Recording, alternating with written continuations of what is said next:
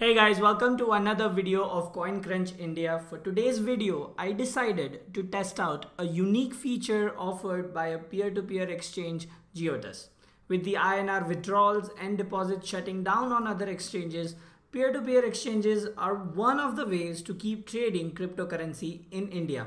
There are many existing and upcoming P2P exchanges and this video is not about how they work or how good or bad they are. This video is about masked calling, a feature that Giottus Exchange claims to have. It allows a buyer and a seller to talk on the phone without revealing their phone numbers to each other. Many P2P exchanges offer chat services between the traders, but I haven't heard of a calling service. So I had to try it myself. Once I logged into Giottus, I placed an order with the seller to buy some Litecoin and you can see that your order is placed in the open orders here as well. If I click on the view details button, I see the option to call the seller. Let's do that. But before that, let me explain how it works. When you hit that button, you will receive an incoming call. Basically, whoever initiates the call receives an incoming call on their mobile number registered with Giottus. When you answer the call, the system will connect the seller on the call as well, and then you can talk to him or her about the trade. So what happens when I try it? I answered it.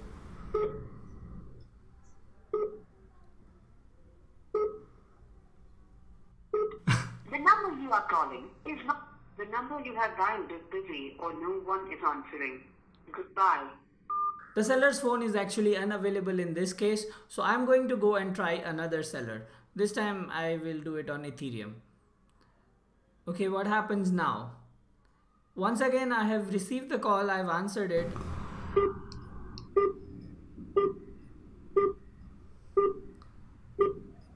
Okay, it's ringing.